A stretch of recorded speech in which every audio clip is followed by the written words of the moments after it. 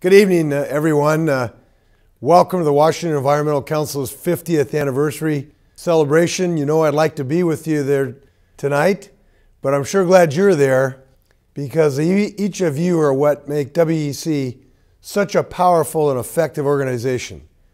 Washington's green reputation is no accident. Uh, thanks to the foundational laws WEC's helped establish we're fighting our environmental issues today, from our earliest shoreline and forest protections to the fight against climate pollution.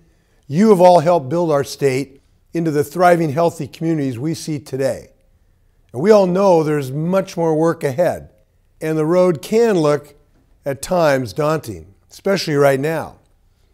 But together with groups like yours, I wouldn't bet against Washington State.